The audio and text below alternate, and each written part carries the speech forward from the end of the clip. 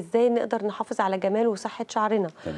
ولأن الشعر ده حاجة مهمة جدا يا دكتور وخاصة السيدات يعني هم الأخص طبعا. إن هم آه، بيكون عندهم مشاكل في الشعر ويبقى مش عارفة أنا أعمل إيه عشان شعري أحافظ عليه. طيب وقفت صبغات وقفت حاجات معينة ممكن تكون دي اللي بتأثر على شعري وما زال شعري بيتساقط.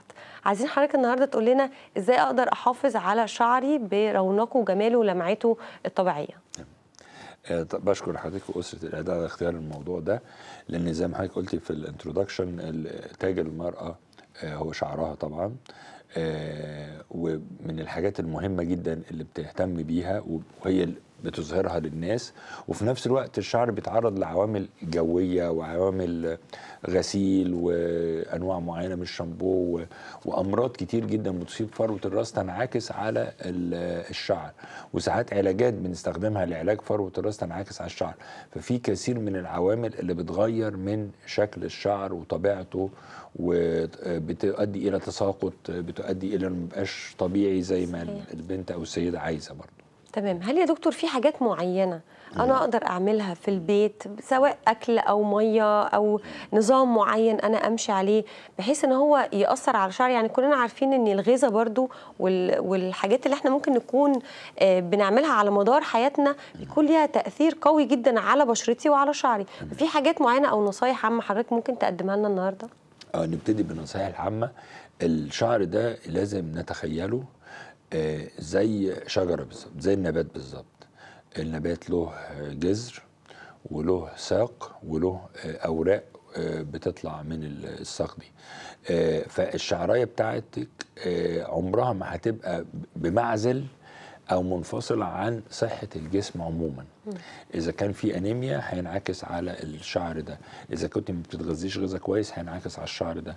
بتستخدمي نوع معين من الرجيم اللي هو بيسموه الرجيم الكيميائي بدون إشراف طبي أو بتستخدمي مواد معينة برضه هينعكس على صحة الشعر. يعني الشعر ده مش هو الحاجة اللي بنروح نطولها نكثفها نزودها. لأ انت ممكن تروح الكوافير مثلا تصبغي شعرك تعمليه curly تعمليه سايح لكن ما ينفعش تغيري في صحة شعرك نفسها إلا من خلال الصحة العامة. الأكل المتوازن شرب الماء الاهتمام بعدم التعرض للحرارة والرطوبة الجامدة الغسيل المنتظم بالشامبو آه، أي حاجة مرضية اللي هنتكلم عنها لازم نروح للطبيب المتخصص في الامراض الجلدية.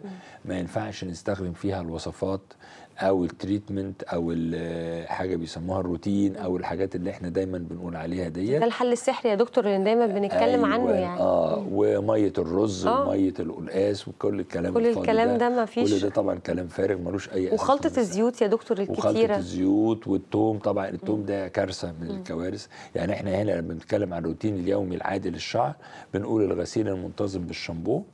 إذا كان في أي حاجة مرضية نروح للدكتور. في في مع والتغذية السليمة. فيما عدا ذلك أي حاجة من اللي بنعملها لشعرنا مش بس ما بتفيدش ممكن تضر. طب وعلاقة خل التفاح بالقشرة هل ليه علاقة قوية وبيضيع ملوش القشرة؟ أي علاقة خالص ولا بتضيع ولا بتعمل حاجة. لأن القشرة دي برضو زي ما هنتكلم عنها في الحلقة ممكن تكون قشرة بسيطة أو عادية وممكن تكون قشرة آه، دلالة على مرض. آه. فبرضو اللي هيحدد كده برضو الدكتور. مفيش حاجة اسمها القشرة خالص. يعني إحنا في الطب ما يعترفش بحاجة اسمها القشرة خالص. في حاجة اسمها مرض في الجسم من ضمن مظاهره أو من ضمن أعراضه قشرة الرأس. وممكن تكون قشرة بسيطة بس. وممكن تكون دلالة أو أو عرض على مرض تاني في الجسم. تمام. اللي يعرف كده الدكتور.